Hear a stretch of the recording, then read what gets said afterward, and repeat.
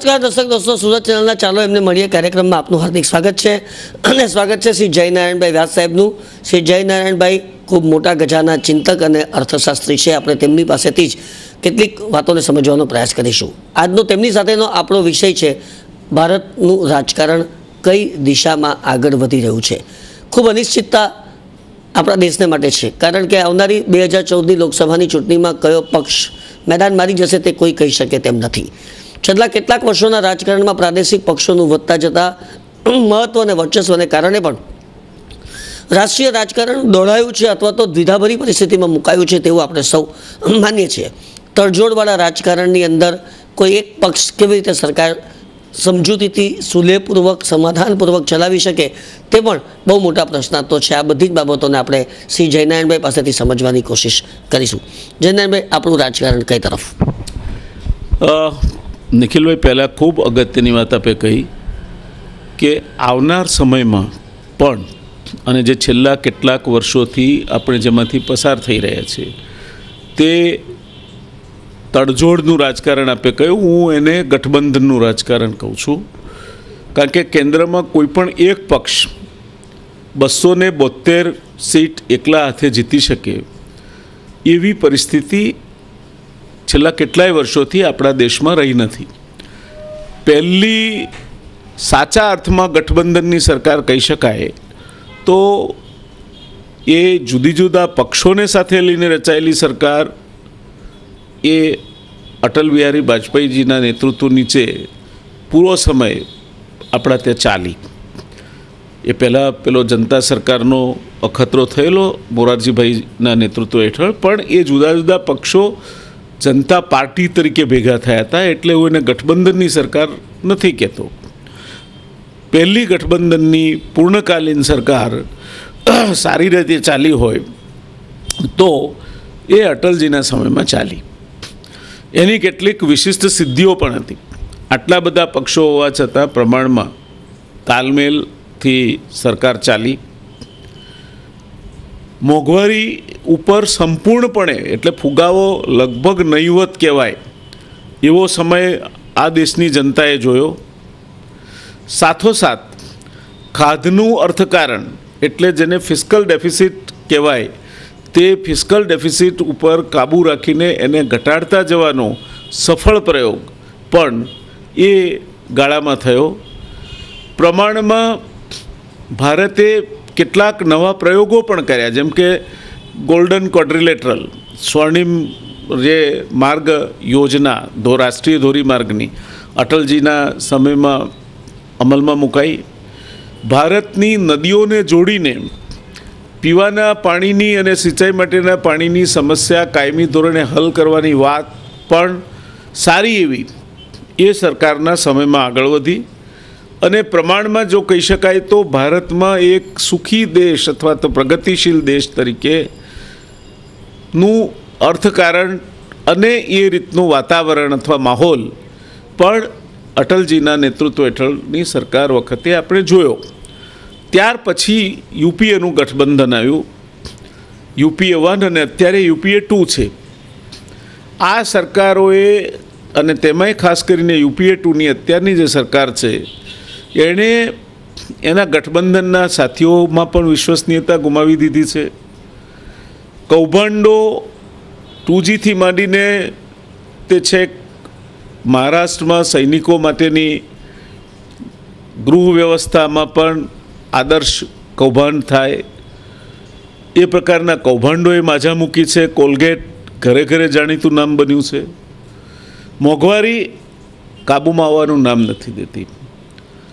અને સામાન્ય માણસ જેને યુપીએ ટુએ વચન આપ્યું હતું કે અમે જો સત્તા પર આવીશું, તો સો દિવસમાં મોંઘવારી કાબૂમાં લાવી દઈશું. એ સામાન્ય માણસ આજે નિરાશ છે. સાથોસાથ, દેશમાં આંતરિક સુરક્ષાના પણ ગંભીર પ્રશ્નો છે. નક્સલવાદથી માંડીને તે આતંકવાદનો વિકૃત ચહેરો એ ક્યાંક ને ક્યાંક માથું ઉચકતો જોવા મળે છે. સરહદની પેલે પારથી પણ છમકલા થાય છે. ત્યાં સુધી કે આપણા જવાનોના મસ્તક કાપી નખાય અને આપણે જોઈ રહેવું પડે. અથવા તો ઇટાલીના નૌસૈનિકો આપણા માછીમારોને મારી નાખે અને એને એના દેશમાંથી પાછા આપણા ત્યાં લાવવા માટે આપણે કરગરવું પડે. એ પ્રકારનું આ એકસો ને વીસ કરોડની લગભગ આજુબાજુ વસ્તીવાળો દેશ દુનિયામાં ઘૂંટણીએ પડતો જોવા મળે, મજબૂરીની હાલતમાં જીવતો જોવા મળે. કાશ્મીરમાં ફરી પાછી ભાંગફોડિયા પ્રવૃત્તિ માથું ઉચકે. અને સાથોસાથ ખાધનું અર્થતંત્ર. એટલે જે ફિસ્કલ ડેફિસિટ ઘટાડીને બે હજાર ચારમાં કાયદો કર્યો હતો કે બે હજાર છ સુધીમાં નાણાં ખાત ઘટાડીને જીડીપીના ત્રણ ટકા લાવવાની હતી. તે બે હજાર બારમાં પાછું નાણામંત્રી ચિદમ્બરમે કહેવું પડે કે હવે અમે આ ખાદ, નાણાકીય ખાદ આ વર્ષે તો પાંચ પોઈન્ટ ત્રણ ટકા રહેશે. પણ હવે એને ઘટાડીને અમે ત્રણ ટકા સુધી બે હજાર સોળમાં લાવવાનો પ્રયત્ન કરીશું. બીજી બાજુ કરંટ એકાઉન્ટ ડેફિસિટ એટલે આપણી વેપાર ખાત, એ છેલ્લા ક્વાર્ટરમાં સાત ટકા જેટલી વધી જાય. આપણા વિદેશી ઊંડિયામણમાં પણ એના કારણે જબરો ઘસારો પડે. પેટ્રોલ અને ક્રૂડ ગેસના ભાવ સતત વધારવા પડે તેવી પરિસ્થિતિનું નિર્માણ થાય. અને એક રીતે જોઈએ તો બળાત્કારથી માનીને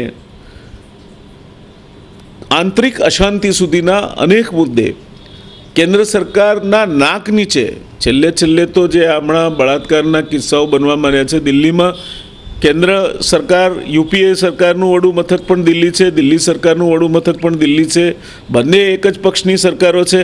આમ છતાંય, જાણે સરકાર નિસહાય હોય અને સરકારના અધિકારીઓ એમ જવાબ આપી શકતા હોય અને ક્યારેક સરકારના ગૃહમંત્રી પણ એવો બફાટ કરે કે આ બધું ભારતીય જનતા પક્ષને એ બધા હિન્દુ આતંકવાદ ફેલાવે છે. અને બળાત્કાર કોઈ સરકાર કાબૂમાં લાવી શકે તેમ નથી, કોઈ મંત્રી કાબૂમાં લાવી શકે તેમ નથી. એના દિલ્હીના પોલીસ કમિશનર એમ કે કે મારું રાજીનામું આપવાથી બળાત્કારની ઘટનાઓ કાબૂમાં આવી જવાની નથી. આ પ્રકારની એક નિસહાય પરિસ્થિતિમાં અત્યારે દેશની જનતા મુકાઈ છે. સાથે સાથે યુપીએ સરકારના જે ગઠબંધનના સાથી પક્ષો છે, મમતાજી નારાજ છે. કરુણાનિધિ સાથેનું એમનું ગઠબંધન લગભગ તૂટી ગયું છે.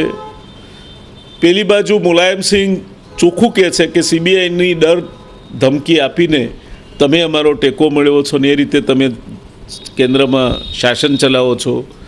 આ પરિસ્થિતિમાં હવે દેશની જનતા એવું તો ચોક્કસ ઈચ્છે કે યુપીએ સરકાર અથવા તો કોંગ્રેસના નેતૃત્વ હેઠળની સરકાર ફરીવાર આ દેશના શાસનની ધુરા ન સંભાળે. અને મને લાગે ત્યાં સુધી દેશમાં એ પ્રકારનો માહોલ પણ છે.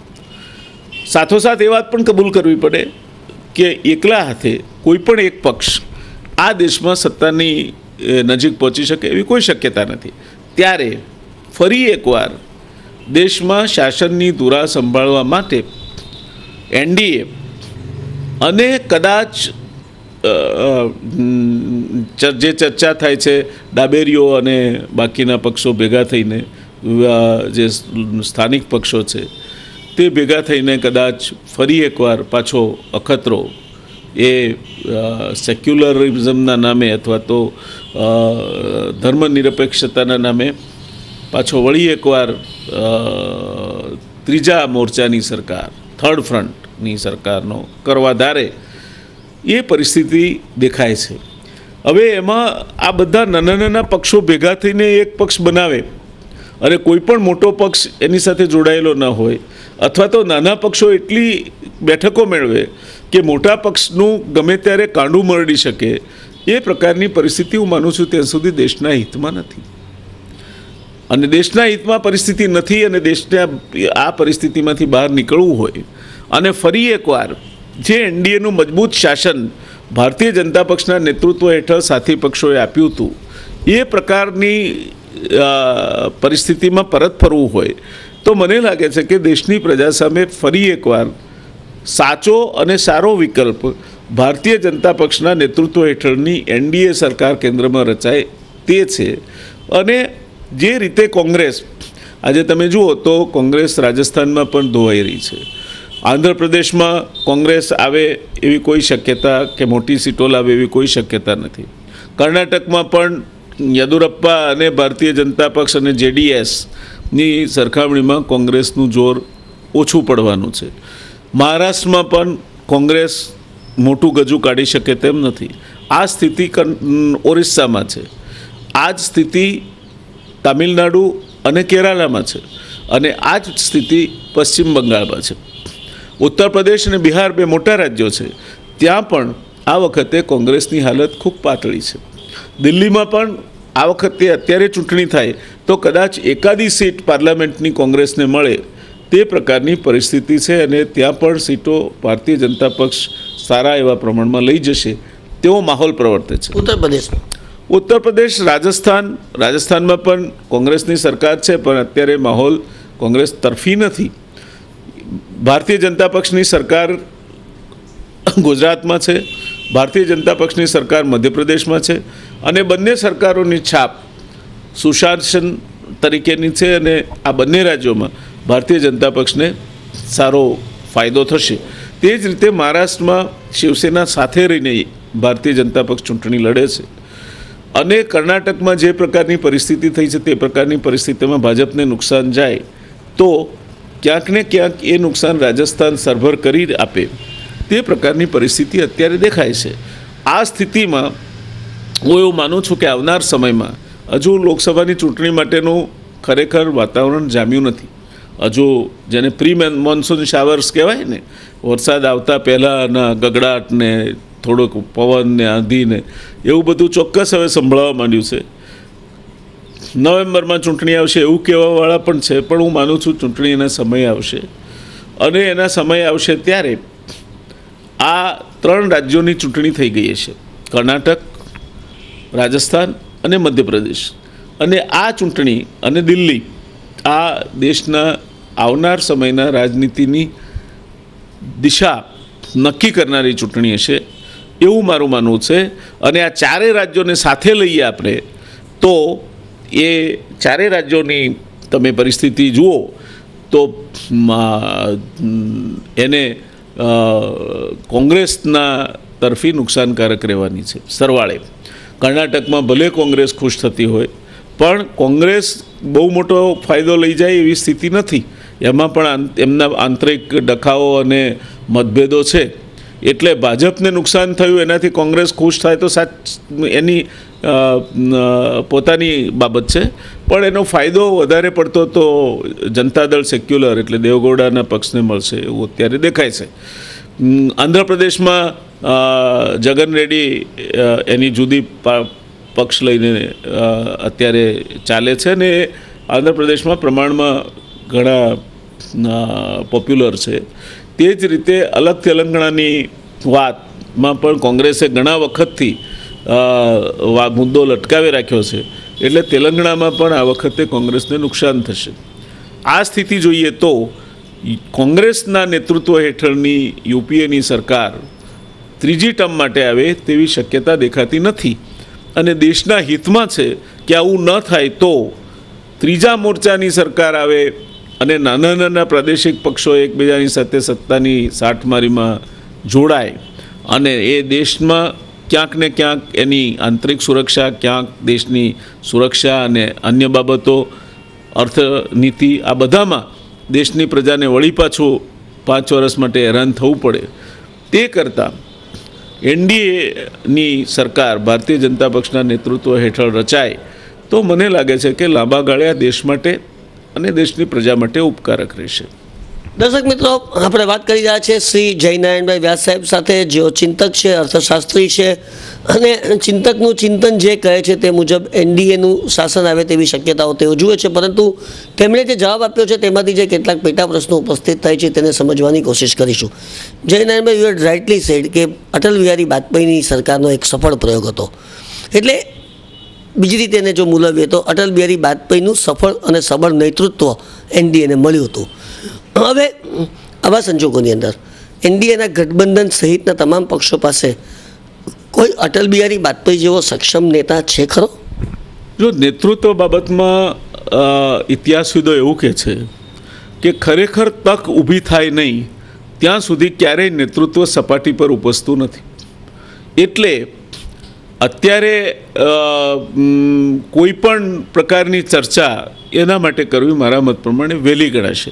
પણ ભારતીય જનતા પક્ષની વાત કરીએ તો અમારા રાષ્ટ્રીય અધ્યક્ષજીએ એમણે પોતે પોતાના હોદ્દાનો કાર્યભાર સંભાળ્યો. ત્યાર પછી સતત એ વાત કરી છે કે એનડીએના ઘટક પક્ષો, જનતા દળ યુનાઇટેડ સાથે અત્યારે ભલે ખટમીઠા સંબંધો હોય, પણ જનતા દળ યુનાઇટેડ સમેત વધશે.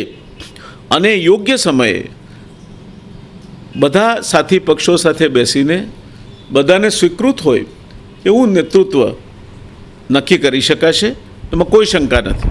અને ભારતીય જનતા પક્ષને લાગે વળગે છે ત્યાં સુધી એમણે એ પણ સ્પષ્ટતા કરી છે કે આ નિર્ણય એ મારો એકલાનો ન હોઈ શકે કોઈ પણ વ્યક્તિને વડાપ્રધાન પદ માટે નક્કી કરીને પ્રોજેક્ટ કરવી અથવા નહીં કરવી, તે નિર્ણય ભારતીય જનતા પક્ષના પાર્લામેન્ટરી બોર્ડે લેવાનો છે. હવે આની સાથે હું ત્રીજી વાત જે આ છઠ્ઠી એપ્રિલે અમદાવાદમાં બની, તેને પણ જોડું. તો રાજનાથજીએ અમદાવાદમાં એક બીજી વાત પણ કહી, જેને આની સાથે જોડીએ. તો ક્યાંક એક પેટર્ન ઊભી થતી હોય તેવું લાગે છે.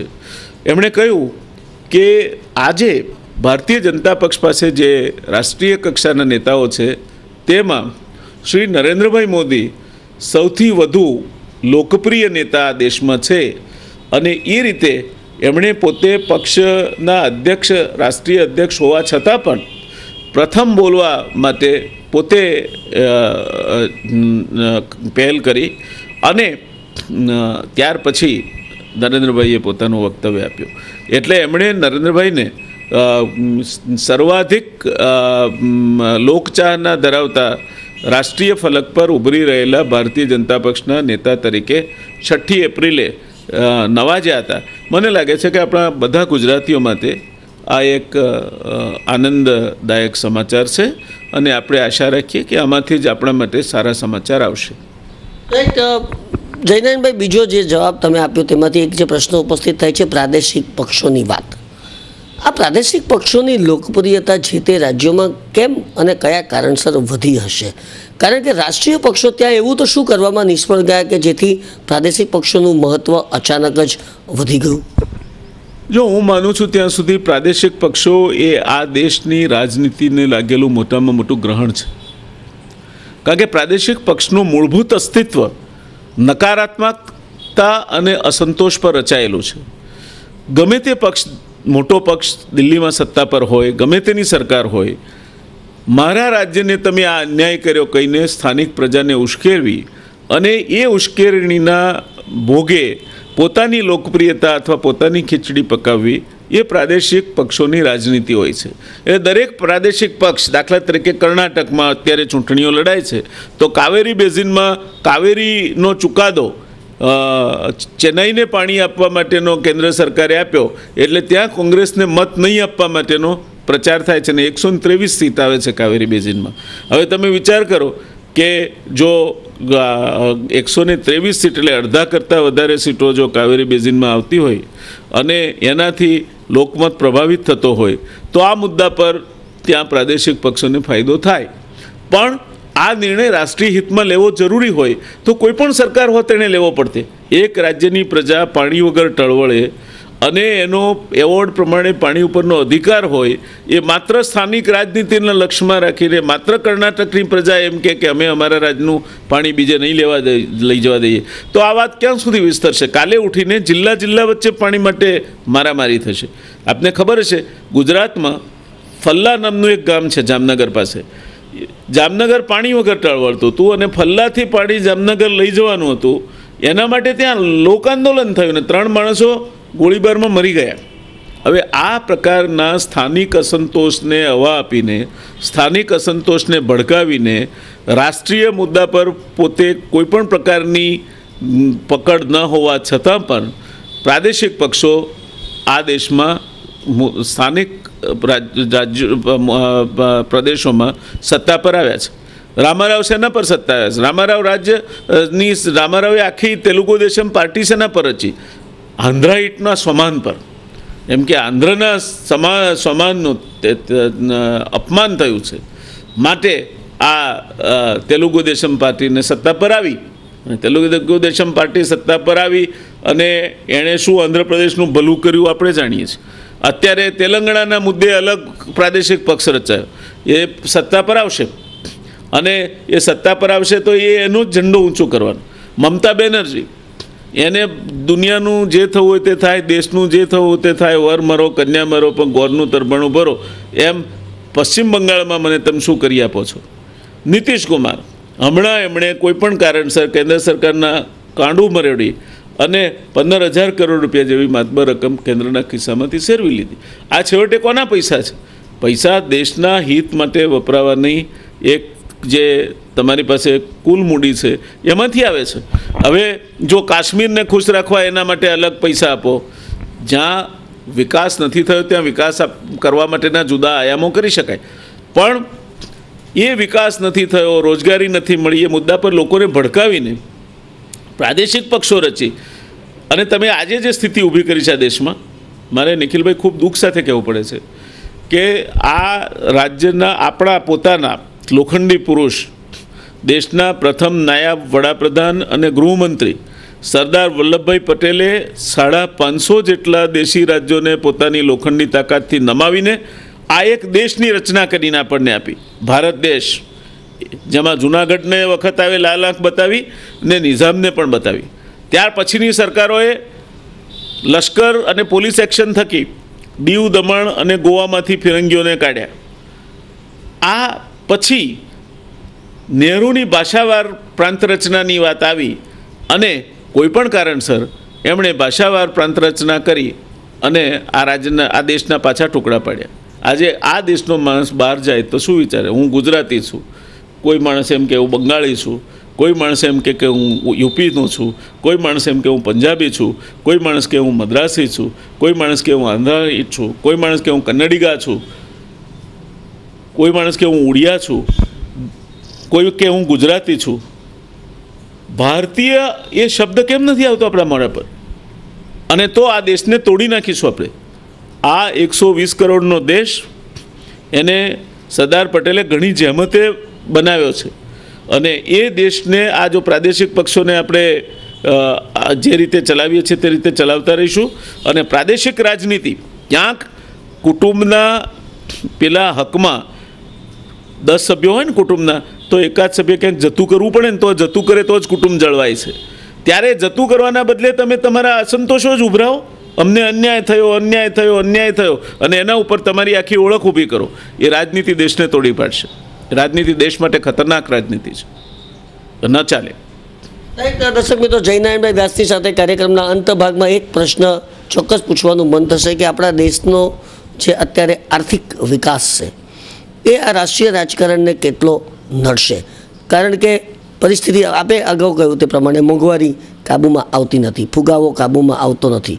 એના માટે જવાબદાર પરિબળો આપણી વિદેશ નીતિઓ પણ હોઈ શકે, આપણી ખેતી સંદર્ભની નીતિઓ પણ હોઈ શકે, અથવા તો જે પણ કંઈક નીતિઓને આભારી આ પરિસ્થિતિ છે તે પરિસ્થિતિ, દર્શક મિત્રોને સમજાવો, કે જેથી લોકો જ્યારે મત આપે ત્યારે આ વાતોને સ્પષ્ટ રીતે ધ્યાનમાં રાખી શકે. એના માટે કોઈ પણ જવાબદાર હોય તો આપણે પોતે છીએ. આજે આ દેશના વડાપ્રધાનની કિંમત વિદેશમાં ક્યારે ઉપજે?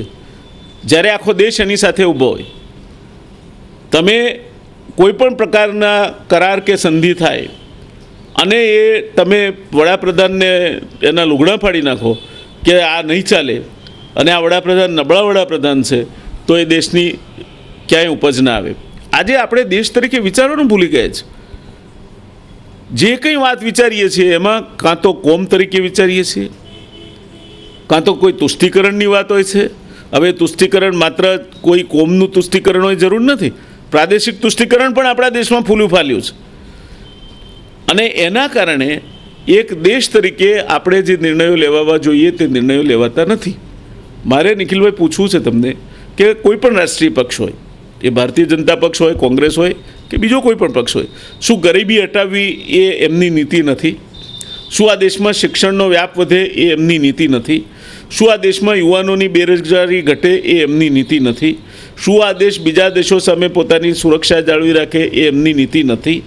શું આ દેશની નાણાકીય પરિસ્થિતિ સદ્ધર રહે એ એમની નીતિ નથી? જો આ બધી એમની નીતિઓ હોય જો આ દેશ કૃષિ પ્રધાન દેશ તરીકે કૃષિના મોરચે પ્રગતિ કરે, એ પણ એમની નીતિ હોય. જો કિસાન તરફી નીતિઓ, એ પણ એમની નીતિ હોય.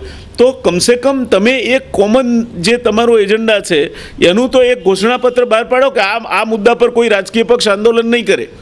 અમારી બધે સામે સાથે બેસીને આ નીતિ નક્કી કરી છે અને આ નીતિ અમે દેશ માટે અમને લાગ્યું છે, હિતાવહ છે. અમે આ મુદ્દા પર આંદોલન નહીં કરીએ. આજે દરેક પક્ષ વિરોધ પક્ષ એક જગ્યાએ હોય ત્યારે જે વસ્તુની ટીકા કરતો હોય, એ શાસક પક્ષ બને એટલે એ જ નીતિઓ અનુસરે છે. તો શું કરવા ટીકા કરો છો તમે? પણ એનો ખરો વાંક એ આ દેશની પ્રજાને પણ હું એટલી જ જવાબદાર ગણું છું. આ દેશની પ્રજા કાં તો મત આપતી નથી, કાં તો એ કોઈ લાગણીના પ્રવાહમાં ઉશ્કેરાઈને આપે છે. લોકશાહીમાં તમે જેને લાયક હો એવી સરકાર તમને મળે. અને આ બાબત જો આપણે ખ્યાલમાં રાખીએ, તો મને લાગે છે કે આ આખાય પ્રશ્નનો જવાબ મળી જાય છે. લોકશાહી તમને ખૂબ લાંબી ચળવળના અંતે મળી છે. દુનિયાની આ મોટામાં મોટી લોકશાહી છે. આ પેઢી તરીકે અને આવતી પેઢી તરીકે મારો સ્પષ્ટ પ્રશ્ન છે, તમે એને જાળવી રાખવામાં નિષ્ફળ જશો તો ઇતિહાસ તમને માફ કરશે? ચર્ચિલે આ દેશને આઝાદી આપવાની હતી ત્યારે પાર્લામેન્ટમાં ચોખ્ખું કહ્યું હતું કે આ દેશ તમે લૂંટારાઓ અને ઠગ અને ચોરોને સોંપી રહ્યા છો. આ દેશમાં એક દિવસ એવો આવશે કે હવા અને પાણી ઉપર પણ વેરા નખાશે આજે કમનસીબ છે આ દેશના કે ચર્ચિલે કહેલા એ શબ્દો આપણે સાચા પાડી રહ્યા છે. પણ દેશ તરીકે આપણે વિચારવાનું છોડી દીધું છે.